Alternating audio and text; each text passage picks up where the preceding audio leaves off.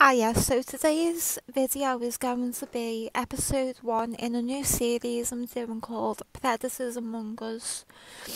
Um, it's going to be about uh, um, a treatment centre for sexual deviant, sexual offenders. And um, it's going to be about three individuals who were all released in 1991 um, they'd all been committed. Um, because they'd raped children and women. Um, and for reasons I'll get into later in the video they were all released in 1991 when they were released they all went on to um, rape and kill again um, so yeah, I hope you enjoy it. So this story links three horrific individuals who were all released from um, Massachusetts Bridgewater Treatment Centre for the Sexually Dangerous in 1991. Now, this centre did have the power to lock people up indefinitely. Um, and as I've just said, these three individuals were released and went on to commit even worse sexual crimes. This system completely failed the poor victims and the families. Um, so in 1991, other predators were released uh, from the treatment centre. Um, one of them I'll be going into more detail within a little while. His name is called Michael Kelley. When he was released, he raped and murdered two women. Another one, um, Ronald Lefkowitz, he got out and murdered a priest.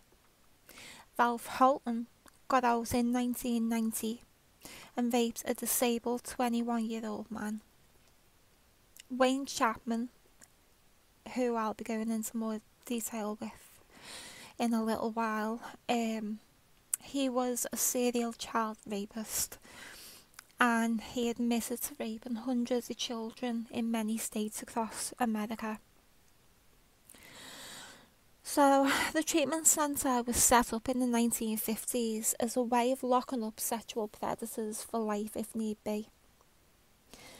A caseworker who worked there for six years, Sean Summers, said, quote, It was a warehouse for sex offenders and it was necessary to keep people safe.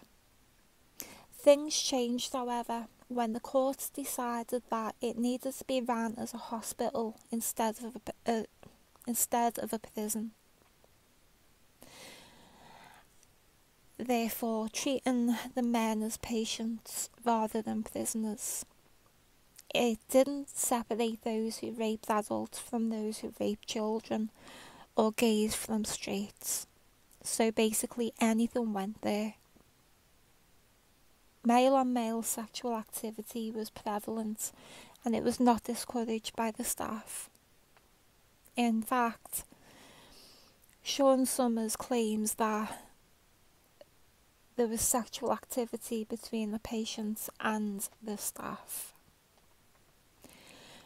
Outsiders were brought in for family days, and this was sponsored by the hospital to help rehabilitation. One of the paedophiles was running the pony rides for the children. This finally stopped following allegations of molestation. One predator, another one of the three I'm going to get into in a little minute, um, Nathaniel Bar-Jonah.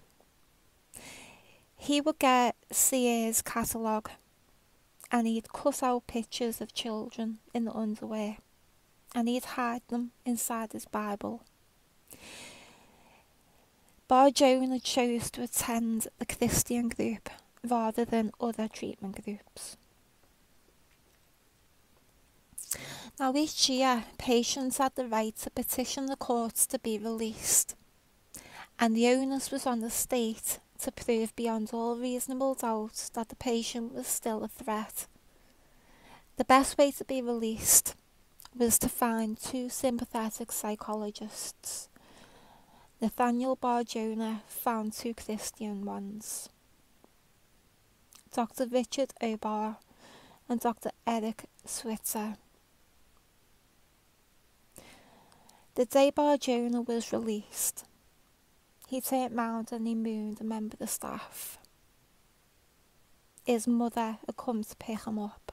When she seen him do this, she slapped him. During the 1980s and the 1990s, many predators were released. It has been claimed that these people were able to claim social security for their so-called disability. Some even bought homes. One person rented out a house he owned to staff at the hospital. Okay, so the first predator I'm going to be getting into is Nathaniel Bar-Jonah. He was born David Paul Brown. A neighbour said that he had lots of little boys as friends and he attracted them to him by selling toys out of his garage. Now, paedophiles will make it their business to do anything and everything to be around children, to attract children to them. Um, the experts at it. In 1975, he abducted an eight-year-old, sexually assaulted him and strangled him. Then he abducted a nine-year-old girl. A witness to this wrote down his license plate number and he was arrested. Even though at the time he was on probation, his probation officers were not told. So when his probation was completed, he actually received a letter thanking him for his cooperation.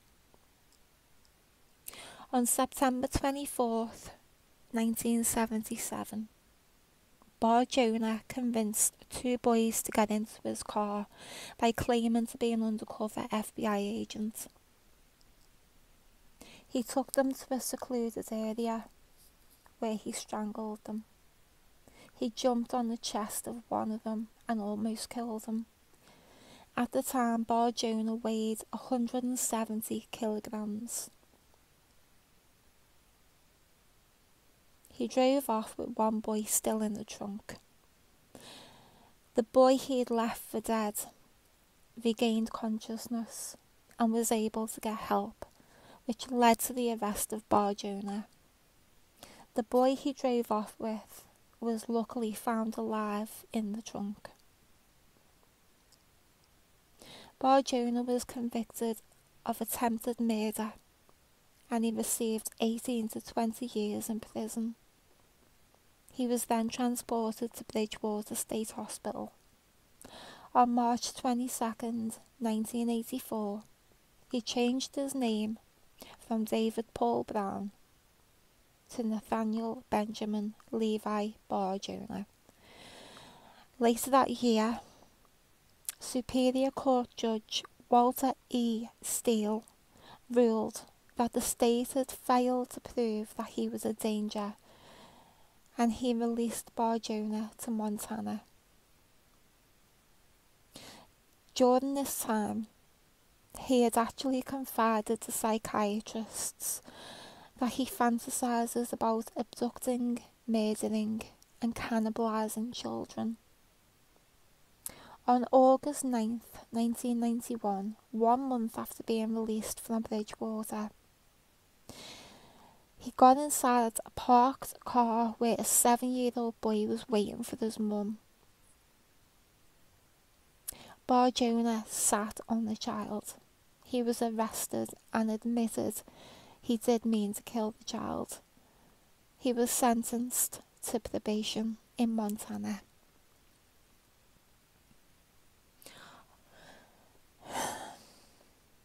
On February 6th, 1996, 10 year old Zach Ramsay was walking to school alone and he was last seen in an alley. One witness said he had seen Zach get hit by a four door off white car. Another witness said they had seen him with an obese white man. Zach has never been found and he was declared legally dead in 2011.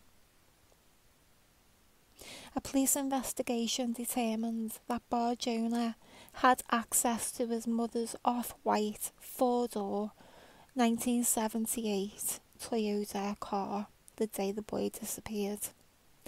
At that time, his mum and brother were out of town. Sorry, out of town at a family funeral. Bar-Jonah never went to work that day or the following days. Detectives found a list in Bar-Jonah's apartment of names of his previous victims, and Zach's name was there with died next to his name. A former roommate of Bar-Jonah declared that he would mention the boy all the time. Detectives also found a coded notebook which was decoded by the FBI and it contained recipes which included children's body parts. When his garage was sprayed with a phosphorus chemical, the word Tita, spelled T-I-T-A, appeared, leading to the assumption that Bar-Jonah was responsible for the death of James Teta, T-E-T-A. He was a Massachusetts boy who was kidnapped August. A Massachusetts boy who was kidnapped August 23rd, 1973. His body was found August 25th in New Hampshire. He had been raped and strangled. Bar-Jonah was arrested again in 1999 for impersonating a police officer at an elementary school. He had a stun gun with him and pepper spray. Pictures of young boys were found in his home, as well as a bone from an unknown young male. Montana police charged him with kidnapping and sexual assault of four children. He was prosecuted for the abduction and molestation of three boys and he was convicted of kidnapping, aggravated assault and sexual assault, including charges that he had tortured one boy and hung him from the ceiling. 36-year-old Mary Patrone was a witness and she ID'd him as the man who had attacked her in 1974. She was the nine-year-old girl. Unfortunately, the statute of limitations has expired by then. He is also a suspect in the abduction of seven-year-old Janice Pockett ten months earlier. He maintained his innocence until his death. He appealed his sentence in 2004, which thankfully failed. It's suspected that he cooked and ate Zach Ramsay. Bar-Jonah often held cookouts for his neighbours, and they would often say how horrible the meat was. But he'd just say, oh, it's venison. I, I hunted it myself.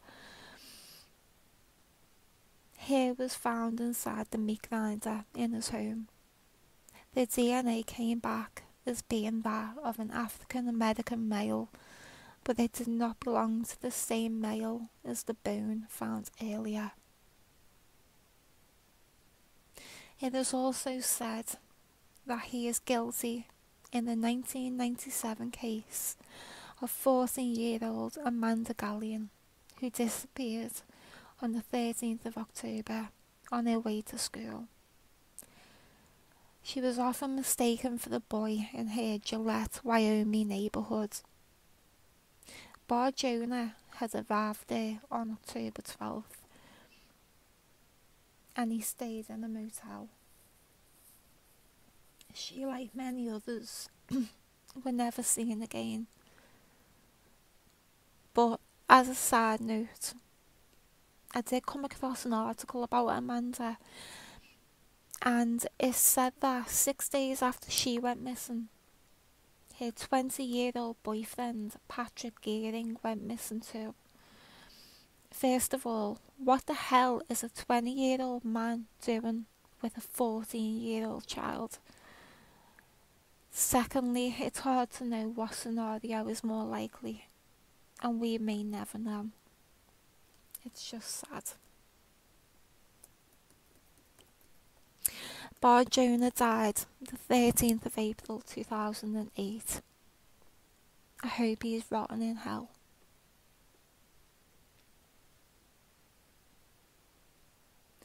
The second monster slash predator I want to talk about is called Michael Kelley.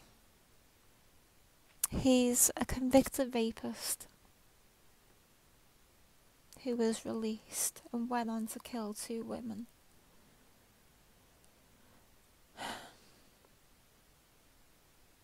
He had promised one a job and he'd buried the other in his back garden. Now, Kelley had spent 13 years in prison, but he was released after being declared not sexually dangerous. For his arraignment in Plymouth District Courthouse, he wore a bulletproof vest as police had been told of death threats he has killed 21 year old Colleen Coughlin and 24 year old Deborah Levangie. The Department of Mental Health got Michael Kelley a job at the Plymouth Sign Company.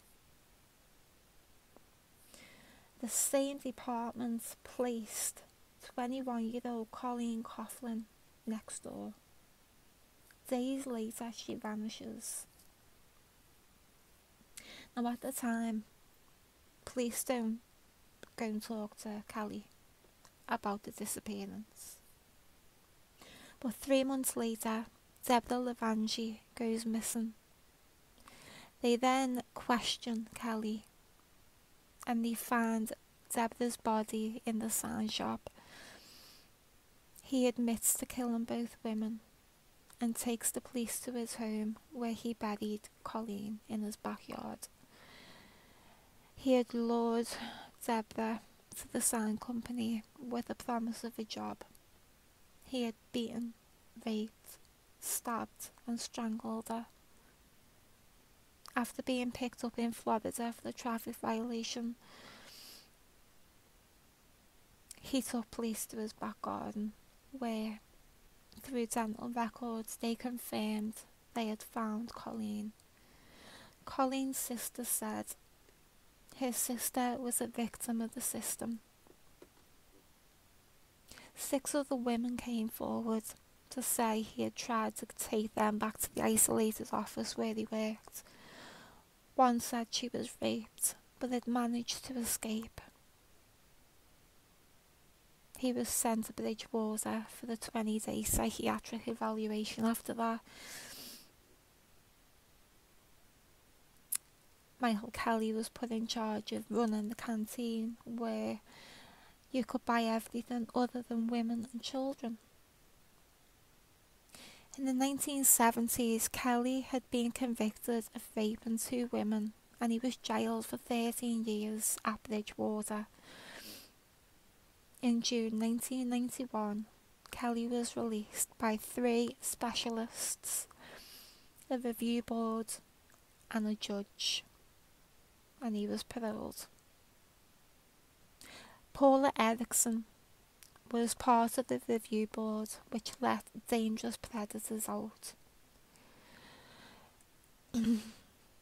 she says that she tried to prevent Kelley from being released. One of his doctors had said it was easy to be fooled by the most skilled psychopaths. This doctor also believed that treatment can work.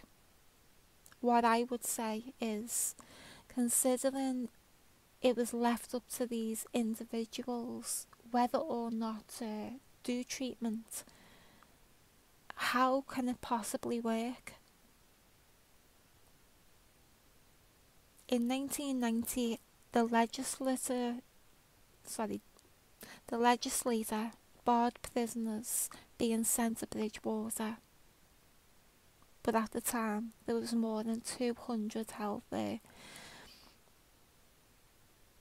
Many think these people can't be fixed, and if we accept that paedophilia is a sexual preference, then it really can't be changed. And we all know that vape is about power and domination. Kelley was a model patient, apparently. He cried when he was meant to. He played the system. He bought a home.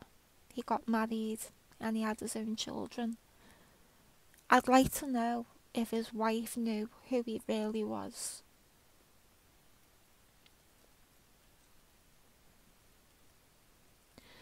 The third predator I want to discuss is no better. His name is Wayne Chapman. Wayne Chapman worked in a hospital incinerating waste. In his spare time, he liked to stalk little boys. He'd record himself in one recording. He's heard saying, quote, Right now I am passing two paper boys. One is about eight years old. End quote. Another recording, he says, Several school buses passing me now. Boy, would I love to get into some of the stuff on them buses. Wow, woo.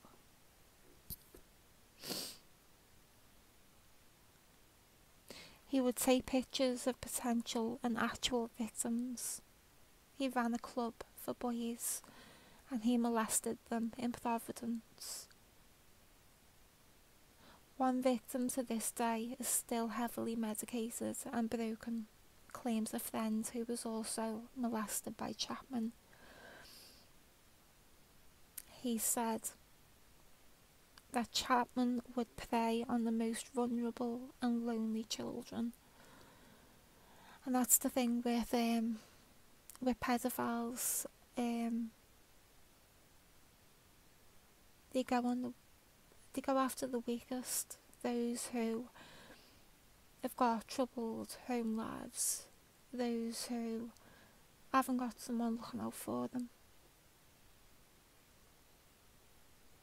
Chapman was found by accident after a routine police check in 1976.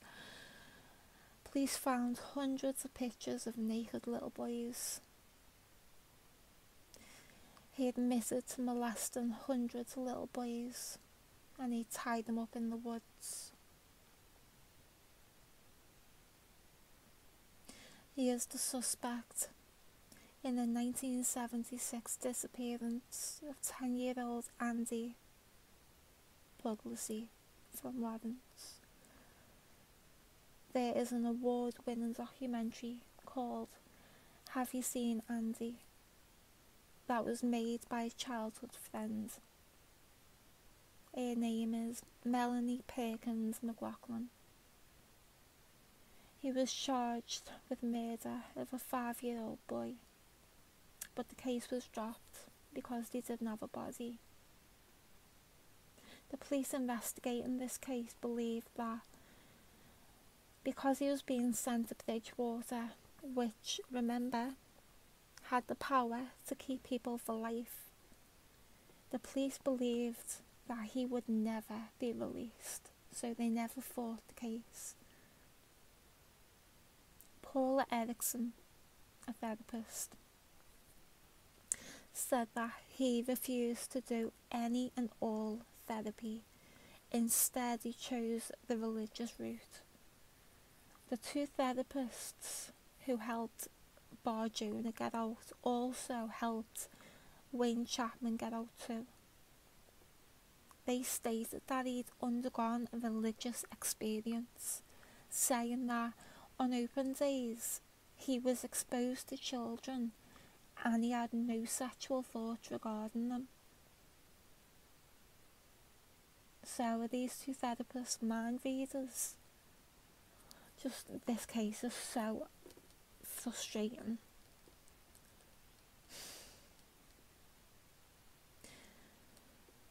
The state said he was dangerous, but that he's improved.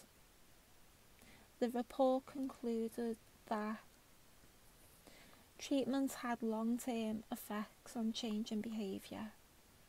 The judge sided with Chapman saying Wayne Chapman has no history of injury to his victims, even though the first time he went to jail was because he tied a child to a tree and set him on fire.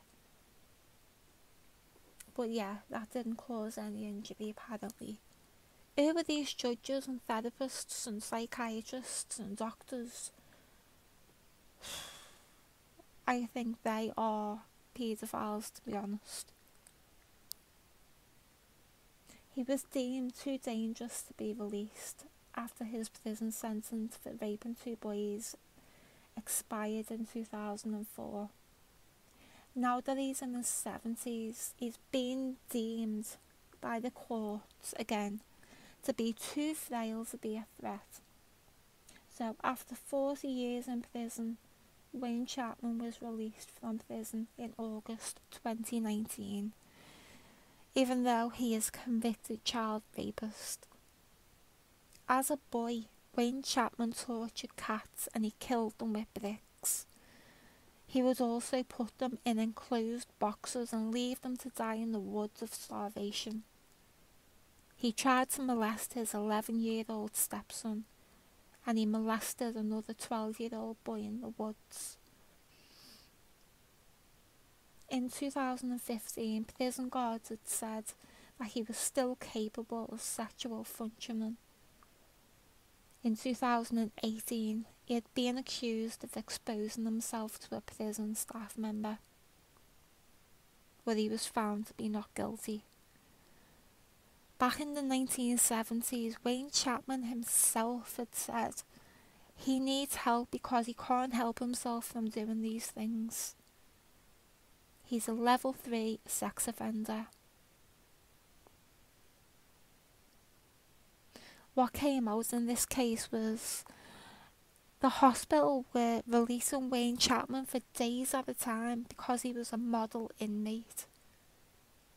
He was picking up sex workers, which the therapists thought was good because they were adults. I'd say, well, worthy. There's a lot of children out there on the streets selling the bodies, and it's not their fault. But I'd like to say to the staff, if you weren't with him, how do you know the age of the person he was picking up? Fucking joke. I know this is being heavy, but I think it's important.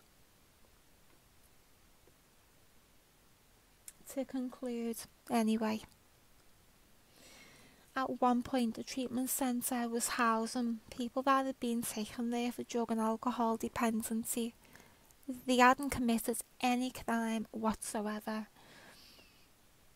And I found a Harvard Law article that stated that, luckily, on July 18th, 2017, the Department of Corrections agreed to remove 14 men who were not sexual offenders, they were just addicts, from this centre. This is horrific to think that they did this, considering that many people with substance problems have a history of sexual abuse, certainly victims of some kind of abuse, physical, domestic, whatever it may be.